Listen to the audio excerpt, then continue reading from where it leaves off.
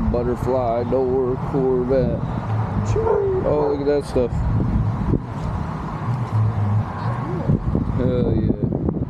We got there a 97 Corvette 5.7, four speed trans. That big air filter in the front. Yeah.